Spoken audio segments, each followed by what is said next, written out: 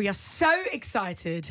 I mean, what a pleasure to be joined this morning by Danny from the script. Hey! Morning. From his bedroom morning, on Skype. Yes, Danny. If, if you want to do it from bed instead, you're more than welcome to, to move Okay, over you know there. what, I'll move over. I will move over. and I'll try and see if the light's pretty good. I can do it from bed. Oh, look Yay! at that! Yeah. Oh my god, I feel like nice I'm next white, to you. nice white sheets. No, yeah. I'm not showing you the other end. Wow. What No, to kind be of. honest, um, I haven't been home in ages. I haven't been um, back to Ireland um, for ne- nearly ni- nearly a month now. Um, so it's just nice. It was nice to come home and sleep on my own bed and just be here. It's it's really really nice. You know, on the on the eve of our you know our single coming out and stuff. It's really nice to be around family and friends as well. So. Uh, Um, but yeah, having having these uh, these these white sheets is, is quite nice. it looks like you're like. I live on- I live on my own in, in London, um, Uh. and they're not normally this nice and this white. I was going to say, they're like, you're like doubling up on pillows. I mean, what kind of thread count are we dealing with over there? I don't know. It's just you know what it is. It, it, it gets bigger and bigger because it keeps doubling and doubling and doubling. See what I did there? Stick to the day job, mate. So we we are absolutely. Speaking of the day job, you've got a new single out, don't you? Yeah. Oh yes. Yes, exactly. Do we don't We are- need to be here. We are absolutely loving the new song. Like, tell us all about it. It's amazing. Oh, thank you very much. Um, uh, this, the name of the song is called "The Last Time," Mm. um, and it's about the realization that um, there's all the um, nuances in a relationship when you start to notice that maybe this person might be leaving you, or this might Mm. be the last time that you ever get to see this person. And um, you know, the script have always been a, a an emotional band. We've always worn our, our hearts on our sleeves. Um, and we kind of we're just inviting the rest of the UK to wear the jacket now, you know. Yes. Um, it's, it's our first song that we've had out that we've, you know, we, we've always been the heartbreak band um, from songs like Break Even, Man It Mm. Can't Be Moved. And um, we just kind of feel like um, the last record that we had out, we just felt it was such a great pop record. Um, but this time we just really wanted to go back to basics and um, show everybody what the script is really about. And we're about emotional music, emotionally led music. And I, I love the fact it's got a big singy chorus. You know, Mhm. it's there's- it's not a drop. We're trying to kind of almost just be a little bit more opposite to what's on radio right now, you know, and just Yeah. trying to like uh, fight for bands because there's not really that many spots that more uh, um sorry spots anymore on radio for for modern day contemporary bands. Mm. So we're just like, you know what, man, we we love ourselves as the script. We love being emotional. We love we love a good chorus and we love um we love singing about heartbreak. So the song the last time I think it sums up I think for us it's it like it really sums up what we are as a band um and also just the emotion of it as well. I just I love I love I, I remember when we were writing the song um we were trying to think well I was trying to think of a chorus and I remember being in this little um there's a place where I get my baguettes in the morning time right so I'll do my little workout I've started doing Muay Thai so I oh, started nice. doing a lot of fitness stuff as well, which has been Mm. brilliant. But you get really, really hungry. So I was in the I was in the I was in the shop in the morning, I was getting some protein after I'd worked out. Um and I was standing there and the, the, the idea for the song came along. And I was Oh. sitting there, I was like, I just ordered something, and there was a kid in front of me, and there's a woman in front of her, and there's a guy in front of them. And I was supposed to pay, and the song came to my mind as I'm paying. I had to run out without paying. Without paying for my food. I went outside. I like turned on record on my phone really quick. I was like, "Da-da-da-da-da." I had to record it and then run back in and apologize to everybody. But you never know when inspiration is going to hit you. Wow. Mm. So it was Um, all about the baguettes. It- yeah, it is- that's where you get your inspiration from. Yeah, in the morning, you know, those those bacon sarnies in the morning. It is such a it's such a heartbreaking Mm. song, Danny. And um, there's a line in Sure. it about forever and how yeah, you know your partner said it would be forever, but it isn't. And I Mm. just wonder, like, do you still say to people like, "Oh, we're going to be together forever"? Because I stopped saying that a while back because it just ended up, you know, never being that, and it's Mm. disappointing. Well, that's for me. Yeah, that's what you always go into each relationship and hoping. You know, I think that's what if you didn't enter into each relationship hoping that you weren't going to be together for, for when I say forever, um, but but yeah, if you didn't want it to be the, the- as long as your own life, you know, why are you entering into it? You know, I think um, it's really important to find that one person, not that three people, that one person. Mm, I've, I've yes. had a friend, a friend of mine say, "I think I'm in love with three people." I said, "I think you're you need your head examined. You can't be in love with three people." And if somebody you know, asks but I do. It, I think it's the endless pursuit for for that for that special someone that you would be prepared to, like I say, throw down for, throw a ring on the finger, and you know, um, you know, if you if you cross her, then you cross me, you know, that kind of Yes, vibe. yes. And I, I I I love that. I really, it's like right, you know, ride or die. I'm like, Yeah. no, let's fly or die. You know what I mean? It's like uh, that's what I'm looking for out of life, really, to be honest. Oh, Okay, I well, it's a yes. that. It's a yes from me. That's wonderful. I'm looking for the same thing. That is really beautiful, and that does give us more of an insight into the song. I I, guess it's like it's even Thank more you. heartbreaking listening to it now. Hearing that. It's like, it's like we're Oh. just falling in love with you right now. I mean, you're laying on Oh, your bed, you're confessing I was about your to say love. get a room, but he's already in a room. That's what's so worrying here. and a bed. To I'm- I was only asleep like five minutes ago, so like there's a possibility I may just drift straight back off in the middle. of that happens a lot in our interviews, to be fair. He's on the Well, move. I didn't want to say. So the style of the new teasers on Insta are like quite futuristic. Is this a sign of what's to come now with the new project? Do you know what? It's um we've we've come up with a, a, a brilliant, brilliant online campaign because we have um last time around we we tried to do teaser campaign for our when I say fans we have family because they're not they're not our, our fans they're really our family at this stage. Um, I can't, I kind of think we underestimated just how bright they all were and. We had um we, we kind of put up. Can you guess the name of our, our album? Whenever Yeah. we put it up, literally the se- the next second someone had the name of it. I was like, I can't believe how smart these people are.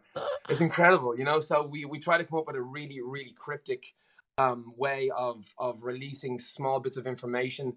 Um, it's all to do with the album. Again, I can't release the, the name of it right now because there's Mm. there's uh, like I mean, there's right as I speak right now, there's fifty thousand people online. Literally, like, is it this? Is it that? Is it this? And they are really close. I, again, I can't believe how um how good it is. But I, I just feel like engaging social media in that way. Um, I think you get the best results, you know, um, from from like little teaser campaigns, leaving little breadcrumbs, and um, having you know just really exciting the fan base that we we have something coming back out again. So, like I said, we're we're we're absolutely we're, we're thrilled with, with the reaction because you never really know. It's like Mm. you know, you book a place. It's like your your twenty first or something. You have to book in the room. You have to send in the invites out, and you have no idea whether everyone's going to turn up or not. You know, so it's kind of that's that's what this week has been. But the you know the response so far from the single has been has been incredible. And to be honest, the video as well is just magic. We we've teamed up with um a guy called um uh, Charles Mehling.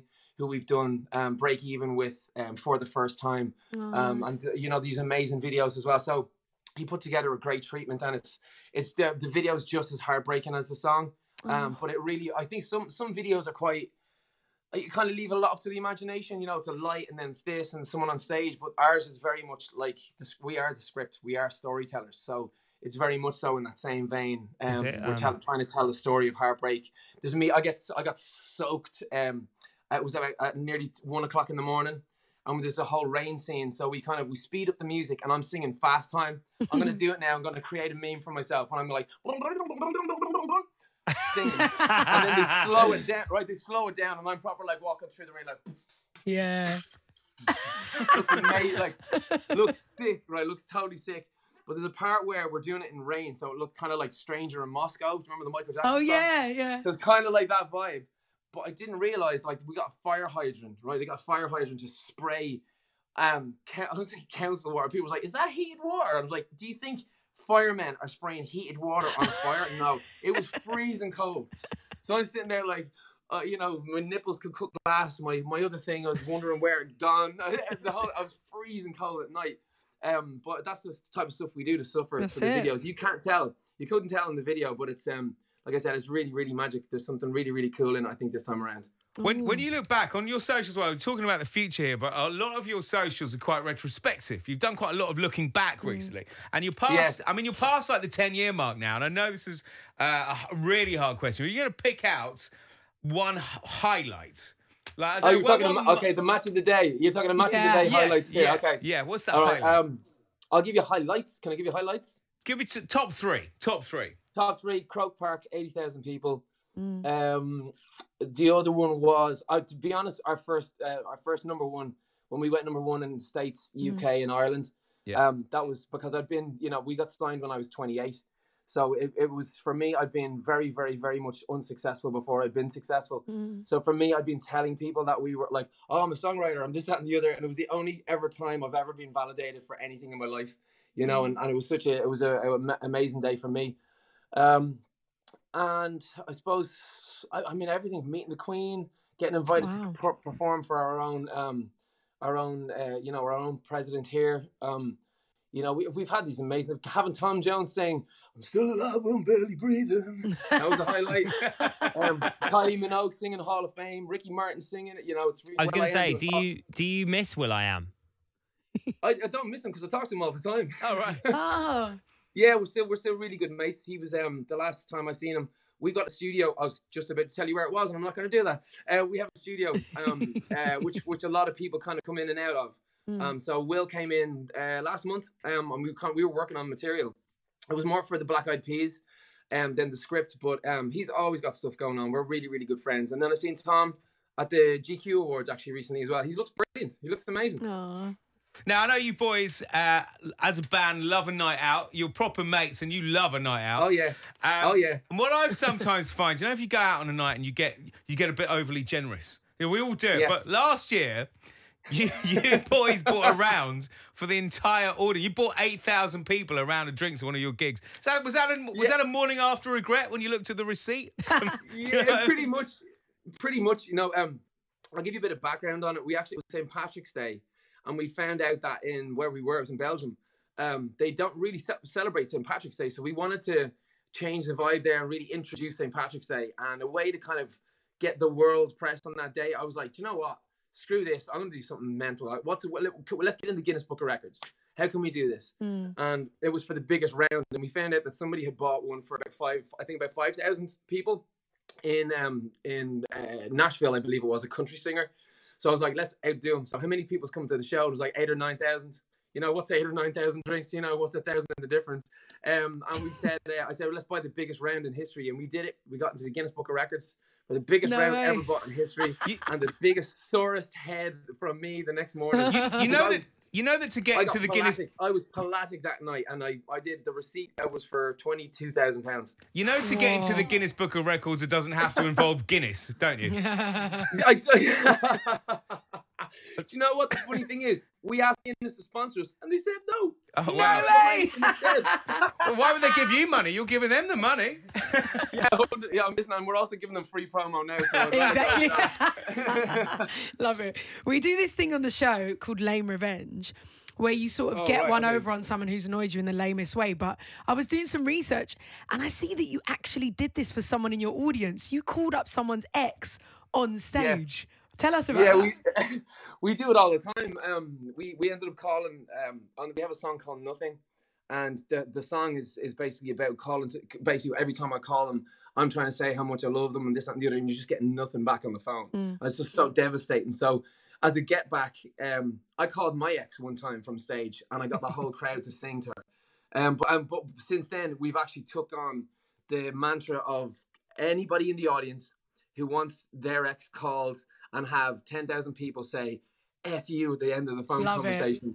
We've done it. It's just been so marvelous. So I don't even have to say it now. On the start of the song, there's already like the whole front row just has all these numbers being dialed. And you just see like X this, X that, blah, blah, blah. So it's, it's really, really fun. Like anybody who's seen a script show, and it's- also done with, you know, tongue in cheek too. We're not really, Mm. you know, we're not really bullying people with thousands of people, you know. it's all done with tongue, tongue in cheek. Um, I've, I've also heard from a guy who was like, dude, you've no idea. I was sitting at home on Saturday night. I was, you know, I'm tuned into whatever X Factor or The Voice or something. Um, because we were on stage at the same time around eight or nine. And he's like, I'm sitting there singing. And I goes, dude, I love you guys. Like, I really love you guys. And I get a call from you. And it's not just from you, it's from your whole show. And you guys told me to F off at the end of it. I was like, oh my God, I'm so sorry. But, um, but like, it was amazing to hear both sides of the story, you know, to be able to do it and then to have heard from someone who received the call. It was Yeah. awesome. It was really cool. It's like the ultimate lame revenge. Like anyone Yeah, who's got an yeah. ex, I'm going to tell them to just come watch your show and deal with it there. yeah, tell them to come front row anytime. That's so and that funny. drives more people to the shows. That's what I'm talking about. Promo. Um, Yes. Are you it, girl. I worried love now it. that Keep it going, girl. I love it. Danny, are you worried now that you're back that your star might have slipped a bit because you are obviously now the second most famous Irish person Everybody's after everybody's Maura wor- from Love Island? Oh yeah, yeah. Listen, I'm already, I'm already the, the, the second biggest band in Ireland. We have been forever with you two. So I've no, I have no problem. To be honest, she's she's taken the world by storm. Good on her. She's taken the world. She's hilarious, isn't she? she's so she's so she's so true. She's so true. You know. Mm. By the way, I just want to say on behalf um, on behalf of the band, thank you so much for all the support that you've given us over the years. You guys are really amazing. You know, thank you so much. And long may it continue. You guys are amazing. Oh, Can't wait to catch you in a couple of months. See you, mate. See you soon. See you later, Thank guys. You. Cheers, mate. Bye bye. Wake up. Let's go. Hits Radio Breakfast. Hits Radio Breakfast. With Fleur East, Greg, and James. It's Great.